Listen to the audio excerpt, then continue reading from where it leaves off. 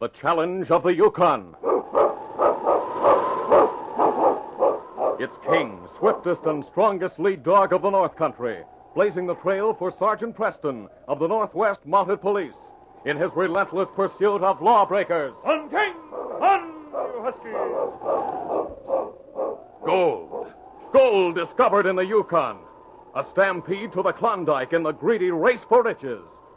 Now back to the days of the gold rush, when Sergeant Preston and his wonder dog King battled through storm and snow to preserve law and order as they met the challenge of the Yukon.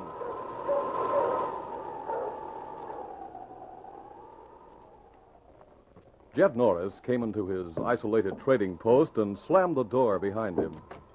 The tall, slightly stooped man had a worried expression on his clean cut features as he looked at his 18 year old daughter, Mary. Here, honey. Let me help you into that coat. Bearskin's not exactly lightweight, Dad. The coat weighs nearly as much as I do. yes, but it keeps you good and warm, though. And the dogs are all ready. I got a hitch to the sled and set to travel. Thanks, Dad. Oh, I wish you didn't have to make these trips alone. It's a hard run every two weeks into Pine Crossing to pick up the mail and supplies. The mail alone is worth the trip. I'm always happy to get news from the outside. I like visiting the McDuffs and buying the supplies. Kind of lonesome way out here with Rainier's cabin the only one between here and town. A fine neighbor he is. Well, don't you worry about me. I can't help but worry with you on the trail alone four hours each way. Oh, Dad rat, this bad leg of mine. I wish I could go with you. I'll be all right. I always have been. Hmm. Well, here's your mittens. Thanks. Now, Mary, if you happen to see Jack Rainier at the halfway point, you might tell him that he was wrong in saying I'd never sell my trading post. Tell him I got a buyer and he's meeting my price. I sure will. I'd like to see his face when he hears it. Won't it be wonderful to go back home again? Yes, sir, honey. We'll go back to the States in fine style. that scheming Rainier thought he'd be able to talk me into selling at his price. Now, be sure to take your rifle. All right. You got your list of supplies you want to buy? In my pocket. Oh, one thing more, Mary. Here's a box for Sergeant Preston. It's that silver buckle I made up for him. Good. I hope I see him. In case you don't, his name is written on the outside of the package. It's not much of a present considering what I owe that Mountie. I'm sure he'll like it. Now, leave the box with McDuff if uh, Preston's not at the crossings. I will. And uh, if there's a letter from Mr. Johnson, open it up. If it calls for an answering, you can answer him and mail the letter while you're in town. I'm expecting he'll write and let us know when he's come to take over the post. All right, Dad. I guess I'm all set. Now, you be careful, Mary. Don't worry, Dad. And don't forget Preston's pocket. I won't. Goodbye. Mush, you Malamute, mush! Get on there, mush!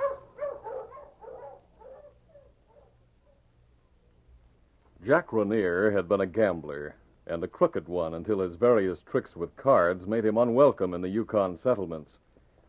While he made plans for a bigger score, he had taken over a deserted cabin halfway between the town of Pine Crossings and old Jed Norris's trading post. His wife Dolly had gone with him. Jack, listen to me. I- Dolly, it's no use arguing. I want Norris's trading post, and what I want, I get. But capturing Mary Norris. That girl's never done anything to you. My plans are made, and Mary Norris fits right into them. If I'd only known you were bad all the way through. Save it, Dolly. You didn't marry me because you loved me. I haven't been fooled for a minute. You just wanted to get out of the towns so that Mountie wouldn't find you. Ah, that's crossing all right. and he's got the girl. Ah, good for him.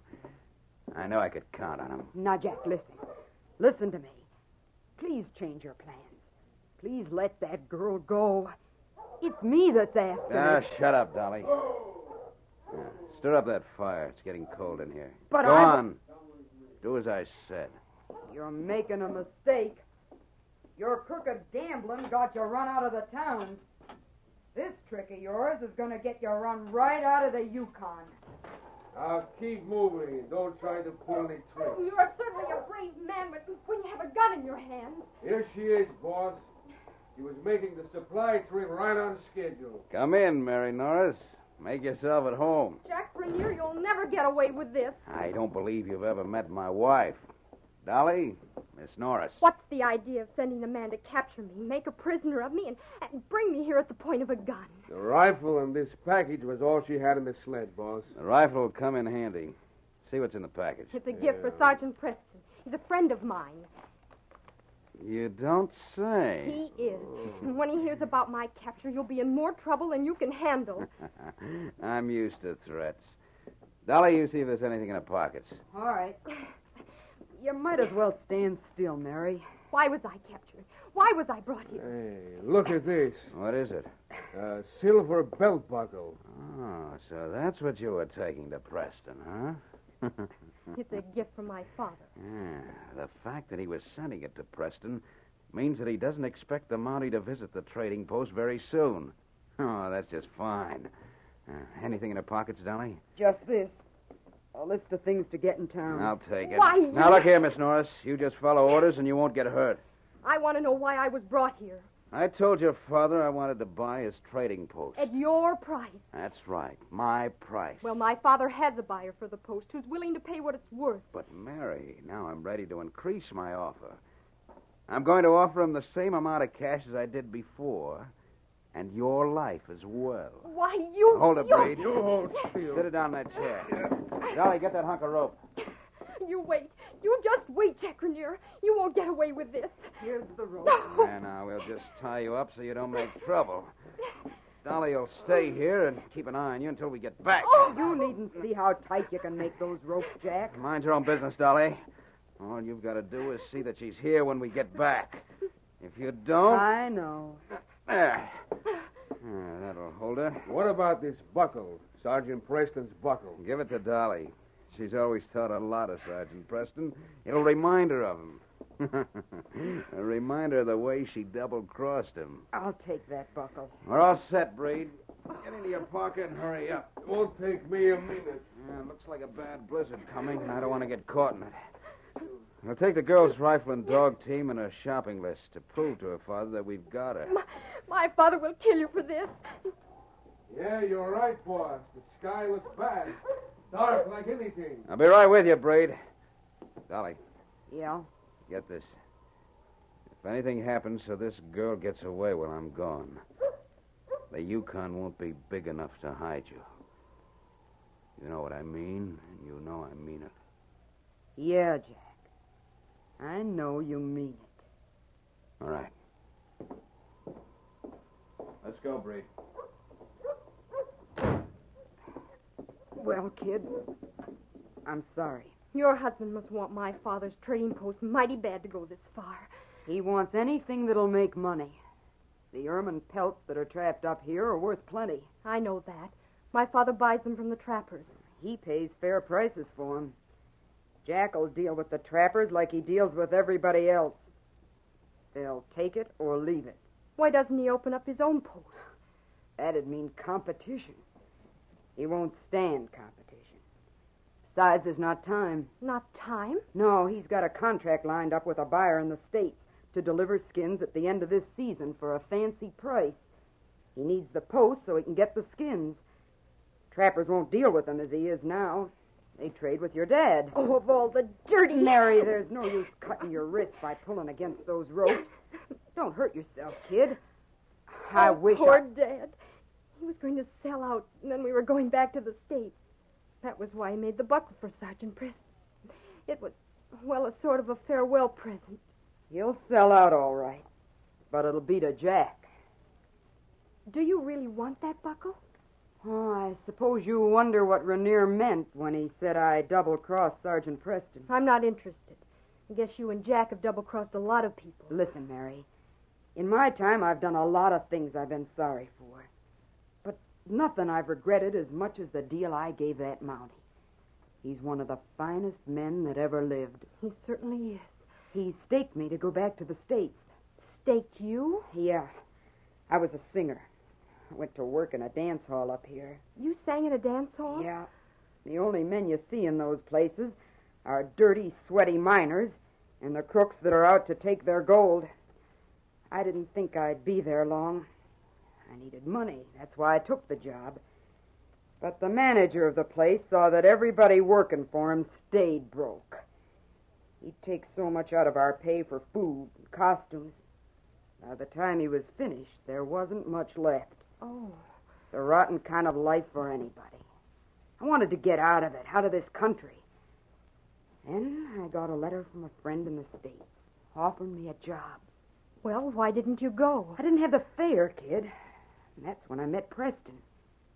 He came to the dance hall to arrest a man who robbed a bank in Big Rock. I got talking to the Mountie. He lent me the money to go back home. I I said I'd pay it back just as soon as I got to the States.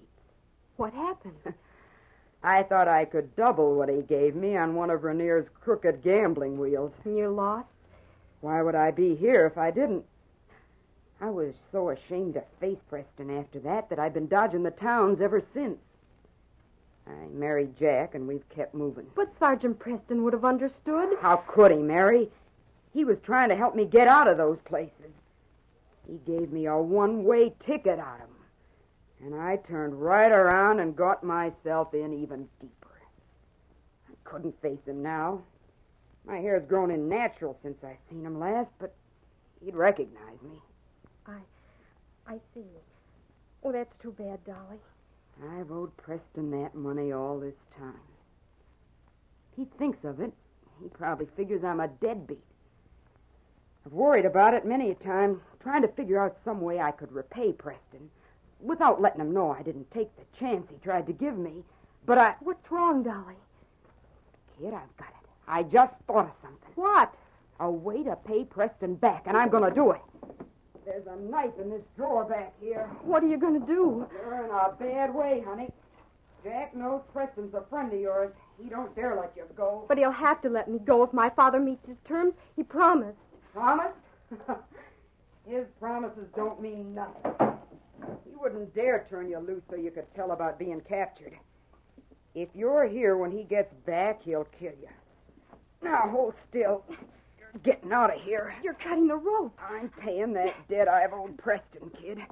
This'll even things up. He gave me a break. I'm giving a friend of his But, one. but what about you? There. Now you're free. Stand up. I heard what he said when he left, Dolly. I'm sure he'll kill you. Jack? Why, honey, I could handle that tin horn the best day he lived. Besides, I got a gun hit anyway. If he gets too tough, I'll kill him. I kid him along all the time. But he's dangerous. Oh, don't worry about me, honey. I can take care of myself.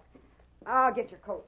But what about the weather? They were talking about a blizzard. Here, now get into your coat. There's a blizzard coming, all right, but it looks like it'll come from the north. You head south for the crossings. Go there and get Preston. Tell him to go to the trading post. Your dad might need help. Mary Norris started south toward Pine Crossings at a fast pace. Her concern for her father kept her traveling rapidly for a quarter of a mile. And then, almost imperceptibly, she began to slow down. Funny. The wind's dying down. Maybe it'll be easier now. But the ominous quiet was the calm before the storm. Suddenly, as if at a signal from an unseen hand, the storm broke. A roaring, rampaging blizzard struck with stunning force. The storm, it, it's come. I, I can hardly see. The snow's so thick. Getting dark, too. Oh, gotta go faster. I've gotta get to the crossings.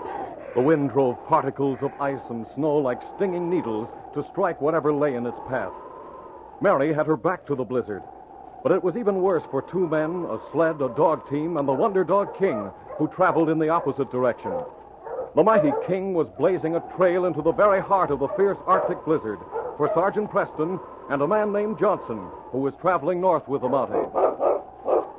King looked back at his master through the snow, expecting at any moment to hear a command to halt. On, King! On, you huskies! The great dog wondered what could be so urgent that Sergeant Preston and this stranger traveling with him would continue bucking one of the worst storms the dog could remember.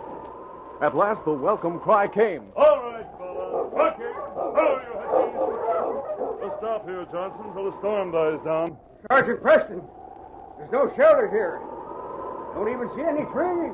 See those drifts? They won't give us any protection. The wind's polished the surface to an icy crust.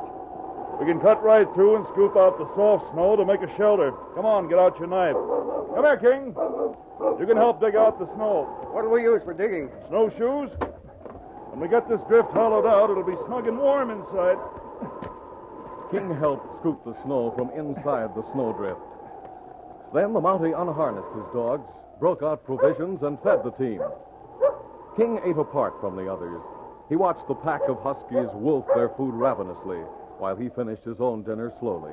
He watched his master prepare to wait out the storm and kept an eye on the team of sled dogs until they curled up beside the snowdrift. Come on, King. In here with us. Sergeant, what's that? A wolf, but don't worry about it. They won't bother us while King's around. That's it, fella. You settle down between us. You certainly know how to meet the wilderness. It's surprisingly warm and comfortable inside this snowdrift. I never expected to find shelter tonight. I wanted to cover as much ground as possible, but there's no use pushing on against a storm like this. We'll be much better off to spend the night here and shove on in the morning. Well, that suits me. I'm tired.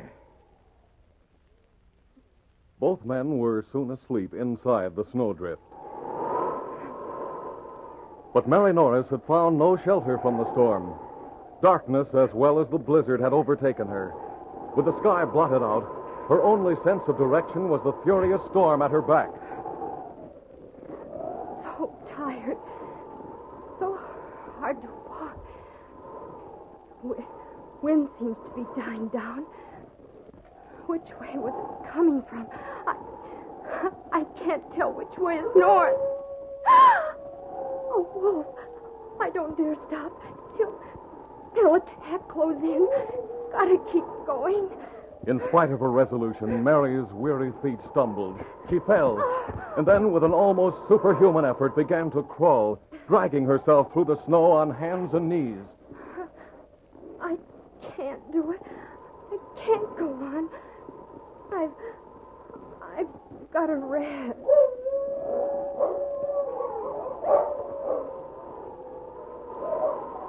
In the snug house of snow, the great dog King raised his head, listening. King heard the sharp howls of a wolf, and then a second wolf could be heard. But these were familiar and expected noises in the night. Then suddenly the great dog's nostrils caught a scent that gave a new significance to the howls. King sniffed and tensed. Then sounded an alarm. King. What is it, King? What's the matter, boy? What's the matter, Sergeant? Easy, King. What are you trying to do? Drag me out of here? Anything wrong? King seems to think so. Uh, you heard something out there. I'll stick my head out. Still snowing? No, the snow stopped. I hear wolves, but nothing else. Quiet, fella. I want to listen. For an instant, King stopped breathing. He knew from the pitch of the wolf's cry that the ranging beasts of prey were out for blood. What the? It's a wolf. Streaking past the sled and sleeping dog team, King ran through the snow toward two prowling, lurking creatures he knew as enemies. He saw the gleaming eyes of the wolves closing in on a dark form lying on the ground beside a huge boulder. King barked a challenge as he placed himself between the wolves and a motionless form in the snow. The wolves snarled in acceptance of the challenge and leaped at the dog. The battle between dog and wolf began. King saw hatred in the flashing eyes and the threat of death in cruel fangs that tried to grip a vital spot beneath his heavy fur. The husky dodged and lunged, using every trick he knew. He leaped at one of the wolves, lashed out, and reached with his powerful teeth, then quickly turned to meet the other. One wolf would retreat while the other charged, and as King turned to meet the charge, the retreating beast would leap. King fought desperately so neither of the gray monsters could get a death grip with its fangs. Hold your fire, Johnson. Can't tell the smoke from the wolf. King, this way, King. Get ground, fella. His fur bristling, King moved back a pace, still protecting the form behind him. One of the wolves, half mad from a throat wound King had inflicted, hesitated. King's broken away. That's it, King. All right, Johnson. Let him have it. They're running away. They won't stand up to gunfire. Steady, King. Let him go, fella. Why'd they go after those two wolves? We'll soon find out. The answer may be over there. Yeah, there seems to be something in the snow. Come on, we'll find out what it is. It might be another wolf. I've heard that they'll turn on their own. Looks like an animal of some sort, but I don't think King would fight to defend a wolf. It looks about the size of a large wolf. Yes, but I. What? King watched his master reach down to turn over the furry form. The husky knew it was no animal. What is it? A girl in a fur coat. What? This is Mary Norris. Mary Norris? Yes. Is she alive? She's breathing and not wounded. Must have been caught in a storm. Traveling on foot, too. Yes. Well, I'll carry her to the shelter. Well, I'll walk ahead and make a wider path for you. All right. King, if this girl lives, she'll owe her life to you.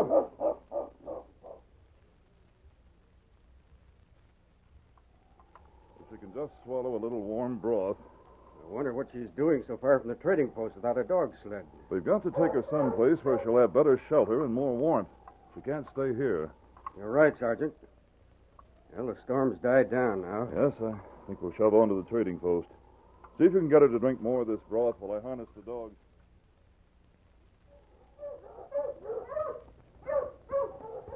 A short time later, King was breaking a trail for the team of dogs, while Sergeant Preston jogged alongside of the sled on snowshoes. Johnson rode the runners, and Mary Norris, still unconscious, lay in the sled heavily wrapped in blankets. On, King! On, you huskies!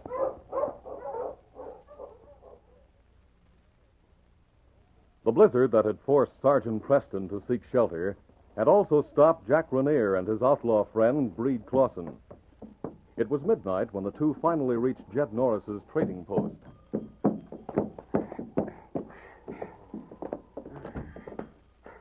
Norris, you here? Coming right out. His room's all right back there. Yeah, probably turned in for the night. Well, what can I... Rainier, That's right, Jed. I've got a friend with me. what are you doing here? You don't seem glad to see me, Jed. I'm not. Oh, that's too bad. I can't turn men out in the night, Rainier, but I can refuse to be friendly with them. You know where to find bunks. Get out the first thing in the morning. I'm here on business, Jed. I've got no business with you, and you know it. You and your pal have done too much stealing to get your furs. You will do well to listen to Rainier tonight, Norris. He has something to sell. I don't want anything either of you are selling. It's likely stolen Open goods. the pack, Breed. I'm going back to my room. You gents go or stay as you please. You're here alone, aren't you, Jed? That's none of your business. Here. Take a look at this, Norris. Rifle? What about it? The girl who carried this rifle might have trouble getting home. That's my daughter's rifle. That's right. She had this list of things with her.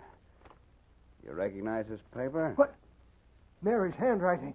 You've captured her. That's right. Jed, you wanted to sell your trading post so you and Mary could go back to the States. I'll buy it. I told you before I wouldn't sell at your price. ah, things have changed. I offered you a couple of hundred dollars in cash. Now I offer you the same amount plus the life of your daughter. Why, we'll draw up the bill of sale, and you can be on your way. You'll meet Mary on the way to Dawson. Just keep right on traveling until you get to the States. You Never mind the comments. You've heard my terms. You can take 'em or leave 'em. If I. If I refuse. If I don't sell out to you. You know what will happen. You weasel faced tin horn that ought to have been run out of this country, you. Do you sign or don't you? How do I know you'll keep your part of the bargain? How do I know Mary's not dead right now? Now, look, Jed, all I want is a trading post. Sign the bill of sale so everything's legal. And give me your word you'll clear out without going to the law, and I'll keep my part of the bargain. I don't want to kill Mary. But if you don't sign, I've got no choice. I'll have to kill both of you. If you just bring Mary here and let me see that she's alive. You've heard the proposition. I. I've got to think it over. There's no time to think it over. I've heard you got a buyer all lined up. That's why I want to close the deal now, my way. Are you going to sign? I t- All right, Rainier. I'll sign. Good. Hand me that pen there. Yeah, I get the pen for you. You're showing good sense, Norris. Good sense. Uh, sign your name on this line right here. Ah, now that's it, Jed. Rainier, if you've lied about Mary's being alive. She's alive. Now, Breed, you sign. Yeah. Wait, wait. Someone's coming. Let me look out the window. Can you see who it is? It's a Mountie. Mountie, Preston. give me that bill of sale. Hey, you don't have to snatch it. Listen, Norris. If you want to see Mary again, get rid of Preston. Breed and I'll go into the next room, but we'll listen to every word. Come on, Breed. Be careful, Jed. Remember, we'll be listening. How can I get rid of him? Hello, Jed. Come in, King. Oh, hello, Sergeant Preston. Up late, aren't you, Jed? Uh, yes. Just about to turn in. Quiet, King. I know, boy. Anyone here, Jed? Why, no. Nobody's here. You sure? Oh, you mean the wet footmarks on the floor? I saw snowshoes at the door. I was out for a little while. Oh, I see. It was quite a blizzard we had, Jed. King walked at Sergeant Preston's heels, heading toward a door leading to another room. Good thing you weren't out in it. King and I had to take shelter till it blew over. Otherwise, we'd have been here before this. Sergeant, wait. Take him, King! That dog. Look out. He's jumping. Wait, Sergeant. No. I'll show you. Oh, you don't! Oh, Reed. Steady, King. Down, boy. Get this dog away. You're covered, Rainier. I'll take that gun. How did you know we were here? I saw your tracks. But You made a mistake. There's no mistake. I've heard about the game you're playing. Drop your gun, What? Jed, put that gun down before King jumps you. You know what's at stake, Norris. Keep that gun where it is. I'm sorry, Sergeant, but you have no reason for coming in here like I this. have reason to arrest these men. Breed Clausen's been wanted for a long time. No, no. Lower your gun, You Jed. don't understand, Sergeant. I can't. I'll say he can't. Jed, if you're thinking of Mary, she's safe. She told me Rainier would be here. Preston, you're crazy. She's on my sled. Johnson, the man who came here to buy you out, will be along with her any minute. Now, wait, Jed. Don't lower that gun. How do you know he's telling the truth? It's a trick. Hear those dogs outside, Rainier? They're no trick. You're finished. Oh, Dad, oh, Dad. Mary, you're, you're safe, honey. Oh, Dad, did Rainier hurt you? He was coming here. No, no, Mary, he didn't hurt me. Dad, a woman named Dolly helped me get away. What? She's married to Rainier. Dolly. Why, that double-crossing little... Wait till I get my hands on her. You won't have a chance to do anything. You're going to jail. Oh, Dad, she saved my life. Dolly, huh? I never heard of Dolly Rainier. Sergeant Preston knows her. Oh, yes, I do know her. I'd heard that she married this gambler. Rainier told her to keep me at their cabin, but she let me go because she said she owed you a debt, Sergeant. She remembered, eh? Well, she won't regret it. I'll reward her. You won't have to, Jed. There's a reward out for Breed Clausen, and I'll see that Dolly gets it. It should be enough to take her back to the States if she wants to go. Oh, she does, she does. She can go back with Dad and me. We'll all go back home together. Well, Sergeant Preston, I see you got your men. Yes, Johnson, I did. My case is closed.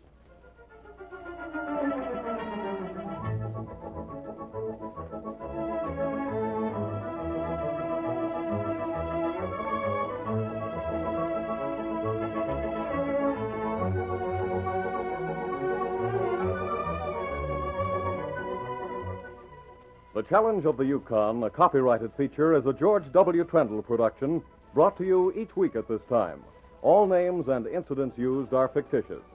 Listen again next week to another exciting adventure during the days of the gold rush. Fred Foy speaking. This program came to you from Detroit. Be sure to join us tonight for Gangbusters. Here's a radio program that brings you true dramatic accounts of crime cases taken right from police blotters in towns and cities all over the country.